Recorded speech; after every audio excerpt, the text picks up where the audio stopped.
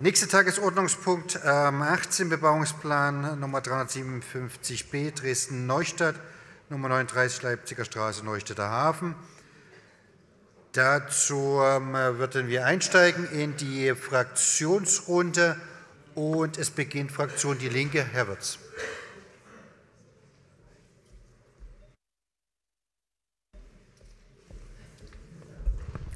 Sehr geehrter Herr Oberbürgermeister, sehr geehrte Damen und Herren!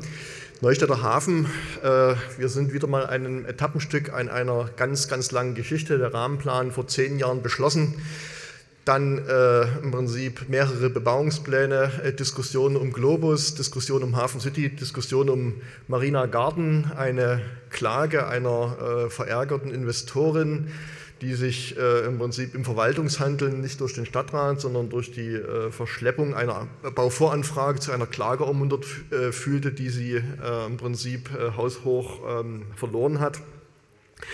Anders äh, im Prinzip in der Hafen City. Ähm, die Projektentwickler dort, USD Immobilien, haben 2014 den Kontakt zum Stadtrat gesucht, haben äh, äh, sehr äh, transparent verhandelt, haben sehr aufgeschlossen auf Gestaltungswünsche reagiert, haben einen Architekturwettbewerb durchgeführt und ähm, was für uns als Linke besonders bemerkenswert und wichtig ist, sie haben sich bereit erklärt, bevor es ein Konzept zur kooperativen Baulandentwicklung gibt, 15 Prozent Sozialwohnungen umzusetzen und zu bauen. Insofern äh, steht auf der Plusseite, auf der Habenseite dieses ähm, Bauvorhabens sehr viel und äh, wir würden uns wünschen, dass mehr Bauträger ähm, auf so äh, Prinzip mit dem Stadtrat, mit der Öffentlichkeit kommunizieren würden. Insofern eine sehr, sehr ähm, gelungene lange Entwicklungsgeschichte. Auf der anderen Seite, und es reicht eben bei meiner Fraktion am Ende nicht zu einer Zustimmung zu diesem äh, Bebauungsplan, sondern wir werden uns äh, der Stimme enthalten, bleiben äh, gewisse Mankos, gewisse Bedenken. Das, was dort entsteht, was dort entstanden ist, der Riegel zu Menarini, die sich ankündigende Bebauung, ähm, ist die Frage, ob sie in der Öffentlichkeit gestalterisch Bestand hat, ob sie gefällt. Das äh, ist aber auch eine Frage, wo man sagen könnte, das hätte man im Wettbewerb mit äh, besser, im Architekturwettbewerb besser äh, bewegen können, besser im Prinzip hinein beauflagen können, auch in den Bebauungsplan. Das ist nicht geschehen. Und auf der anderen Seite aber ein Grundbedenken, was bei jeglicher Bebauung jenseits der Leipziger Straße Richtung Elbe bestand, die Frage des Flutschutzes. In der letztendlich auch heute zu beschließenden Abwägung hat die Landestalsperrenverwaltung weiterhin Bedenken zum Flutschutz geäußert. Sie hat sie nicht zurückgenommen und diese Gefahr bei einem erneuten Hochwassergebiet, dass dieses Gebiet nicht hinreichend geschützt ist, dass es dort äh, zu Problemen kommen kann aufgrund des Hochwassers, das ist geblieben. Insofern ähm, hat es bei meiner Fraktion zu einer Zustimmung nicht gereicht und äh, wir werden in Zukunft auch im Prinzip weiter diese äh, Sorgen ernst nehmen, um nicht weiter im Prinzip auch gerade bei Flutereignissen, die in der Vergangenheit liegen, wo das Gedächtnis nachlässt, wo man überlegt, ja, es geht mit Flutschutzmaßnahmen vielleicht doch. Sie sind anfällig, die Natur ist unberechenbar. Insofern äh, sollten wir in Zukunft bei Bebauungsplänen mehr Abstand von der Elbe lassen, als es hier vielleicht der Fall ist. Ich danke Ihnen für Ihre Aufmerksamkeit. Als nächstes SPD-Fraktion, Herr Engel.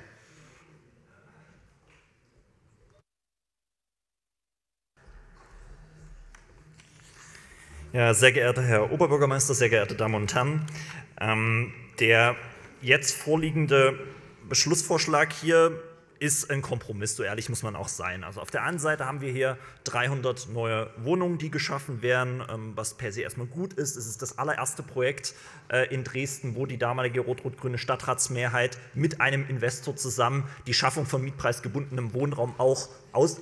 Das erste, was tatsächlich jetzt damals diskutiert, na, ja, da hat der Dres wieder Unsinn erzählt, aber egal. Nein, ähm, es ist natürlich aber trotzdem ein Vorhaben, was nicht einfach ist. Und da hat Herr Wirz ja schon ein paar Aspekte auch angesprochen. Ähm, das Thema Überschwemmungsgebiet ist nach wie vor ähm, ein Problem. Ähm, es gibt natürlich oftmals auch Erinnerungen an die Bebauung, an die Nutzung, die es vorher gab, bevor dort entsprechend jetzt was anderes geschaffen wird, wurde, wo natürlich sich viele auch etwas hätten vorstellen können mit eher dieser schuppenartigen Struktur. Ähm, da sind sicherlich nicht alle glücklich. Trotzdem, es war damals ein verhandelter Kompromiss, ähm, der, wurde, der wurde weiter qualifiziert, die Beteiligten haben Wort gehalten und dementsprechend sollte der Stadtrat heute dieses Projekt auch so ähm, beschließen.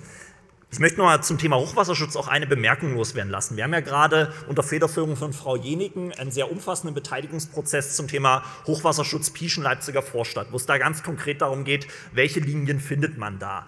Wir diskutieren an anderen Stellen ähm, teilweise sehr, sehr ähm, offensiv auch, wie, dass man dezidiert auch zurückgeht und dem Fluss auch Raum lässt. Die Planung, die wir hier jetzt vorliegen haben, ist dahingehend natürlich ein bisschen eine andere. Das lässt sich hier an dieser Stelle nicht mehr ändern, sollte uns aber, glaube ich, in Zukunft äh, auch immer ein bisschen im Hinterkopf äh, bleiben, damit wir da tatsächlich zu einer ja, auch konsistenten, konsistenten Stadtentwicklung auch kommen. Aber wir werben trotzdem um Zustimmung zu dieser Vorlage. Wird FDP das Wort gewünscht? Nein. Freie Wähler das Wort gewünscht? Nein. Ähm, äh, Bündnis Deutsche Grünen, Herr Löser.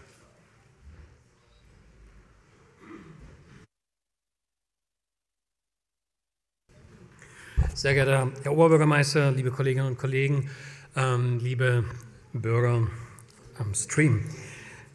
Es geht um ein ganzes Wohngebiet, über das wir heute reden. Das machen wir nicht so oft. Ich habe nochmal geguckt, 365 Wohnungen sollen gebaut werden. Das ist ein Thema, was uns schon sehr lange begleitet. Es wurde darauf hingewiesen. Ähm, der Stand vor zehn Jahren war, dass USD diese Fläche gekauft hatte und wir damit rechneten, dass ohne Bebauungsplan dort nach 34 Baugenehmigungen ausgereicht werden und wir das Gefühl hatten, dass das nicht der Weg von Stadtentwicklung sein kann, den wir uns wünschen. Wir haben als Grüne hier einen sehr langen internen Diskussionsprozess, sowohl ähm, in Pieschen mit unserer Partei als auch mit der Fraktion hinter uns. Denn für uns steht natürlich schon das Problem ähm, Hochwasser und Flut ähm, Ereignisse ganz zentral vorn. Wir haben zweitens das Problem, äh, dass wir in diesem Gebiet sich entwickelt haben, die letzten 15 Jahre eigentlich sehr interessante Nutzungen, ähm, die dort sich angesiedelt hatten und die von den Dresdnern und Dresdnerinnen ja auch sehr stark nachgefragt wurden. Wir haben uns dann dafür entschieden, dass wir den Weg gehen, dass wir versuchen, dieses Vorhaben zu qualifizieren. Haben, es wurde dargestellt, ähm, damals angeregt, dass wir in Dresden mal über ein Modellprojekt nachhaltige Stadtentwicklung reden. Sind dann auch mit den Investoren, gab es damals eine Veranstaltung in der Galerie Zanderkasten ins Gespräch gekommen. Die haben zunächst äh, recht, ähm, soll ich sagen, zurückhaltend reagiert und dann hat sich aber nach und nach auch da ein Verständnis und auch bei USD so ein bisschen hatte ich das Gefühl entwickelt, dass sie mal wirklich was machen wollen, was sie vielleicht noch nicht gemacht haben. Wir haben dann einen städtebaulichen Wettbewerb gemacht. Rode Can hat den gewonnen, Dresdner Büro. Wir haben dann äh, auch Querfeld 1 als Freiraumplaner dort als Gewinner. Und wir haben dann einen weiteren Wettbewerb gemacht für die Architektur. Dort hat Weinmiller Architekten aus Berlin dann den Zuschlag für die Gebäude am Ufer direkt bekommen. Nun will ich mal so ein bisschen Bilanz ziehen aus grüner Sicht. Wir haben ja gesagt, wir wollen dort mal was Neues in dieser Stadt versuchen. Damals waren die Mehrheiten auch wirklich noch anders. Wir haben dann mit den Partnern von Linke und SPD, auch mit den anderen, ähm, die mitgetan haben, das Projekt ähm, gemeinsam entwickelt. Ich will mal sagen, was an ähm, Nachhaltigkeitsstandard jetzt doch verankert ist. Wir haben die Gebäude im KfW 55 Standard. Das ist äh, kein schlechter. Das heißt, wir sparen eine Menge Energie im Gebäudesektor. Wir haben auf den Gebäuden, wo es geht, Gründächer. Wir haben auch PV-Anlagen, die dort installiert werden. Wir haben Schnellladeplätze für Elektromobilität. Wir haben auch Fahrradabstellplätze mit Lademöglichkeiten, auch für Elektrofahrräder. Wir haben Carsharing-Plätze und es wurde schon gesagt, auch äh, Sozialwohnungen sind eingeordnet, noch bevor das kooperative Baulandmodell ähm, von uns beschlossen wurde. Die Häuser sind sämtlich barrierefrei. Dann kann man ja sagen, schön, USD erzählt das so, aber all das ist im städtebaulichen Vertrag verankert. Und wenn wir heute den B-Plan beschließen, heißt das, das ist auch gültig. Das ist die Rechtsgrundlage. Das heißt, USD muss und wird sich daran halten. Und genau deswegen ist es auch so wichtig, dass wir hier mal zum Beschluss kommen. Wir haben noch darauf hinweisen, dass das ganze ähm, Wohngebiet durch Fernwärme ähm, versorgt wird. Das ist eine gute Entscheidung. Die Fernwärmetrasse läuft unter diesem Gelände und versorgt auch den Schulkomplex Erfurter Straße mit Fernwärme. Ist mal nachgerechnet worden, die Drehwag, zumindest habe ich das so gefunden, hat seit 2000 durch Fernwärme ungefähr 7,7 Millionen Tonnen CO2 eingespart. Am Ende, wenn man schaut, ist es natürlich immer so, dass auf diesen Wegen, die man politisch beschreitet, ähm, man Erfolge hat oder auch weniger Erfolge. Ich denke, in der Endabwägung wenn man immer so sagt, Politik ist das Machbare, denke ich, dass wir schon ein Stück drüber sind. Es ist keine CO2-neutrale Modellstadt geworden, aber es ist für die Dresdner Verhältnisse, muss man mal so sagen, doch ein, eine Entwicklung, die ich doch in diesem Zusammenhang ganz ähm, innovativ finde. Ich glaube, sehr wichtig ist, dass die Verwaltung jetzt dranbleibt in der äh, Qualifizierung auch direkt am Bau. Und da gebe ich meinem Kollegen Thilo Wirz recht. Das Kreativzentrum, was wir dort haben, als Abschattung sozusagen ähm, geräuschkulissenmäßig zu Menarini, da hätte ich höhere Erwartungen gehabt. Und da bin ich schon der Meinung, dass die Stadtplanung sehr genau schauen muss, dass sie auch in der Ausführung, vor allen Dingen jetzt mit den Architekten in Berlin und mit USD als Unternehmen so arbeitet, dass das, was wir auf den Hochglanzprojekten da sehen, auch zur Ausführung gelangt. Also das Projekt ist mit heute noch nicht abgeschlossen, es wird ja bereits gebaut. Jetzt geht es darum, in Zusammenarbeit mit der Stadtverwaltung es wirklich zu einem guten Projekt für Dresden zu bekommen. Vielen Dank für Ihre Aufmerksamkeit. Wird CDU das Wort gewünscht? Nein. Ähm, AfD das Wort gewünscht? Sieht auch nicht so aus. Damit wären wir erstmal durch die Fraktionsrunde durch. Weitere Wortmeldungen, Herr Dr. Schulte-Wissermann.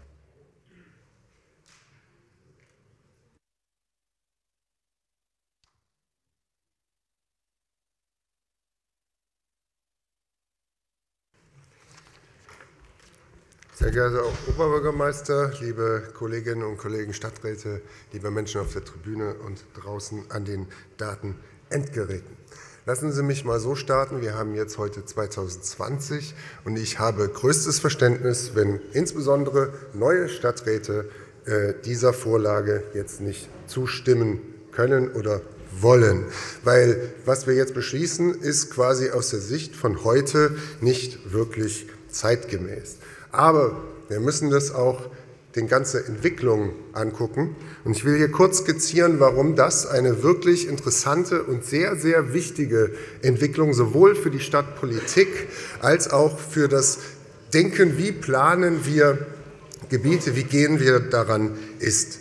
Wir kommen aus einer Zeit ungefähr 2010, da sollte das schon bebaut werden, da hieß es Hafen City, Hafen City 1 und da hatte eigentlich niemand, also wirklich niemand, so größere äh, Probleme und damals war wirklich massiv gebaut. Damals hat der Investor quasi geplant, was er will und damals hatten kaum jemand was dagegen. Gerettet hat uns letztendlich damals die Flut. Da muss man ehrlich sein. Das Gebiet wurde überflutet, danach hat, man, hat die Stadt selber einen, äh, einen Stopp gemacht und dann hat die Politik angefangen. Dann hat sich eine Bürgerinitiative gebildet, die hat äh, dort Demonstrationen gemacht. Ich erinnere mich an die Demo mit den äh, äh Gummistiefeln und so weiter. Alles sehr schön. Und das hat ein Umdenken gemacht. Dann kam 2014, es kam ein neuer Stadtrat und man kann es auch benennen, Herr Löser, der, die da noch dabei waren, das waren die Piraten. So. und äh, dann haben wir nämlich etwas gemacht. Ähm, wir haben uns hingesetzt und haben harte Verhandlungen gemacht. Wir haben hart verhandelt. Wir haben gesagt, Sie können da bauen, aber Sie müssen was verändern und Sie müssen hier ein Umdenken machen. Und Sie können auch die Ersten sein, die hier wirklich sozusagen äh, diesen Prozess Investor, Gesellschaft, Politik zu einem positiven Abschluss bringen. Und äh, ich sage mal, was wir da verhandelt haben. Es war geplant, dass vorne direkt an die Elbe noch ein Hochhaus kommt. Ein ziemlich hohes Hochhaus, was man hätte von der Brühlischen Terrasse aus gesehen und was auch quasi, wenn man jetzt die Elbe entlang kommt, äh, ja, die Brühlsche Terrasse abgedeckt hätte. Das Hochhaus ist weg. Es war in der Ursprungsplanung nicht klar, ob ein Zaun drumherum kommt. Es war nie kommuniziert. Es hätte eine gated Community sein können. Also abends ist es zu oder ist immer zu. Es war auch nicht klar, ob der Elbradweg frei bleibt. Ja, man hätte halt eventuell, hätte es sein können, dass man dann außen rumfahren muss. Das haben wir sozusagen da rein verhandelt. Wir haben, und in meiner Erinnerung ist es so, es ist das erste Projekt gewesen, wo wir überhaupt über Sozialbindung geredet haben. Und äh, 10 Prozent haben wir rausgehandelt. Das war bevor klar war, ob es eine Landesförderung gibt.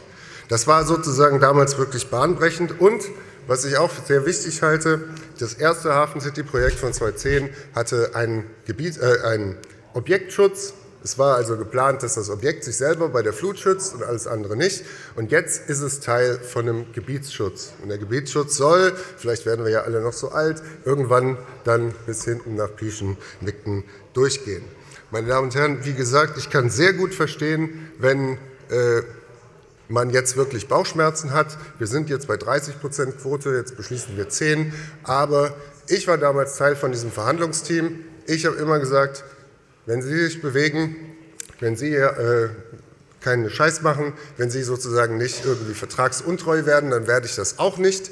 Und deswegen werde ich heute 2020 dem auch zustimmen. Dankeschön. Weitere Wortmeldung, Herr Lichti.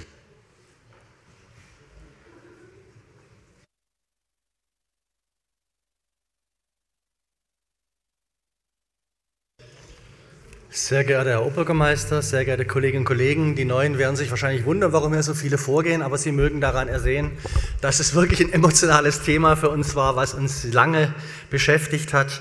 Äh, und deswegen möchte ich auch noch mal ein bisschen was dazu sagen, weil ich damals auch dabei war. Und ähm, okay, ähm, zunächst ist es mir mal wichtig zu sagen, ähm, lieber Thomas Löser, es liegt äh, im Ortsamtsbereich Neustadt und nicht Pieschen. Ich freue mich immer, wenn die Pieschnerinnen und Pieschner sich da auch immer so sehr dafür interessieren für das Thema, genauso wie für das Thema äh, Globusgelände. Aber es liegt in der Neustadt und deswegen möchte ich da gerne auch was dazu sagen. Im Endergebnis äh, stimme ich äh, allerdings Thomas Löser und den meisten Rednern zu. Es ist jetzt ein Projekt rausgekommen unter den gegebenen Randbedingungen, äh, dem man äh, wohl so zustimmen kann. Ich tue mir trotzdem schwer und ich möchte auch äh, Dinge aufgreifen, die schon gesagt worden sind und vielleicht noch ein bisschen verstärken und vielleicht auch mal ein Stück weit noch mehr Klartext reden.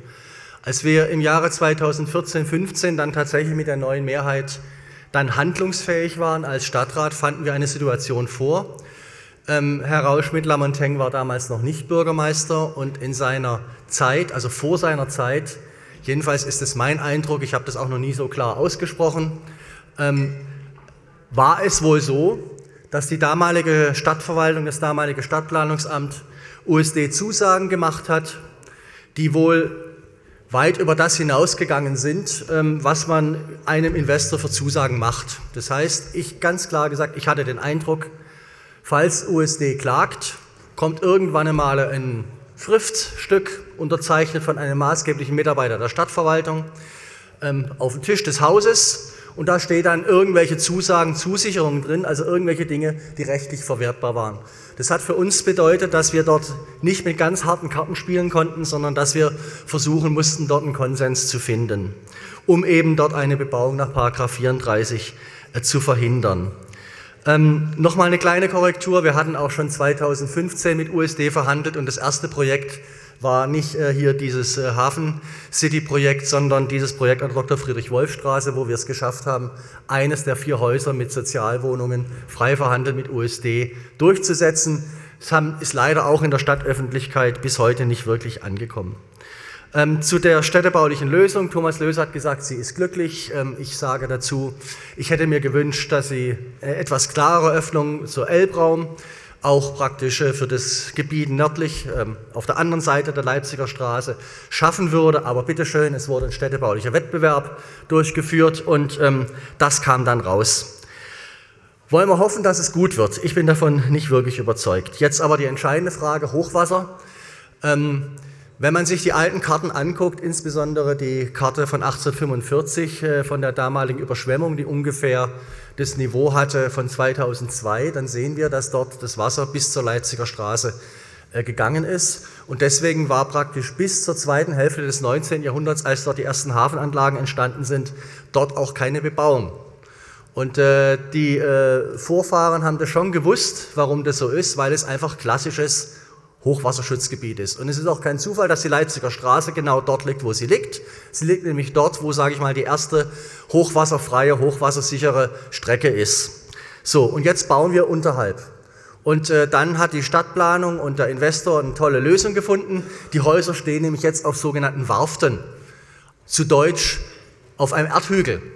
Und so soll dann die ähm, Hochwassersicherheit gewährleistet werden. Ja, das kann man machen. Aber wenn man jetzt tatsächlich den Anspruch hat, gebt den Flüssen mehr Raum und wir bauen nicht mehr in Überschwemmungsgebieten, dann ist das ein Sündenfall und das sage ich ganz klar. Es ist ein Sündenfall, der im Grunde aufgrund der schon vor 2014 verbockten Situation notwendig war. Wenn es anders gegangen wäre, wenn wir nicht so vorfestgelegt gewesen wären, hätte ich mir durchaus auch eine andere Entscheidung gewünscht. So, jetzt geht es aber darum, wie geht es jetzt weiter? Die Hochwasserschutzlinie wird geplant. Und dort geht es dann darum, und das sind dann die ganz schmerzlichen Entscheidungen, und da kann ich mir auch schon vorstellen, wie die Entscheidungen ausfallen werden. Dort ist dann das Eselsnest, dort ist dann eine Kleingartenanlage, dort ist eine Sportanlage. Und natürlich gibt es da dann massive Interessen, die auch immer großen Zuspruch aus der Bevölkerung erhalten werden, die dann sagen, ja, diese Anlagen, die sind uns lieb und teuer, kann ich auch verstehen, und die müssen auch geschützt werden. Liebe Kolleginnen und Kollegen, diese Anlagen sind alle entstanden, nachdem dort diese Hafenanlagen entstanden worden äh, sind und die wurden nach dem Zweiten Weltkrieg, denke ich, wurde es noch einmal um ein bis zwei Meter noch mal aufgeschüttet. Das ist mitten im Überschwemmungsgebiet. Wenn wir eine ernsthafte Hochwasserpolitik entsprechend äh, der richtigen Maxime, gebt den Flüssen mehr Raum machen würden, dann müssten diese Anlagen außerhalb einer Hochwasserschutzanlage bleiben und sie müssten auch, sage ich mal, mittel- bis langfristig eigentlich verlagert werden. Ich wollte das einfach in diesem Zusammenhang mal gesagt haben, gesagt haben, weil im Grunde diese Debatte völlig aus unseren Köpfen entschwunden ist. Das mag auch daran liegen, dass wir jetzt äh, in der Klimakrise sind und es alles sehr heiß ist. Aber wir werden weiterhin damit rechnen müssen, dass wir gravierende Hochwasserereignisse bekommen werden. Und dann werden diese Flächen überschwemmt werden und sie werden Retentionsraum wegnehmen für die anderen Stellen an der Stadt. Also ich habe Verständnis dafür, dass wir heute dieser Vorlage zustimmen, aber eigentlich ist sie unter diesem Aspekt nicht vertretbar.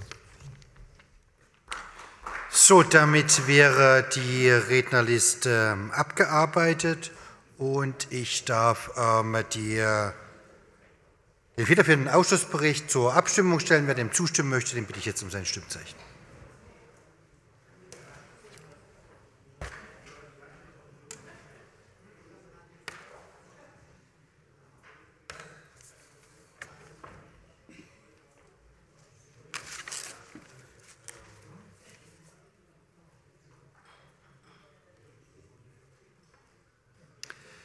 56 Ja-Stimmen, eine Nein-Stimme, 12 Enthaltungen, damit so beschlossen. Wir kämen jetzt wieder zu Beginn ähm, der Tagesordnung und setzen von vorne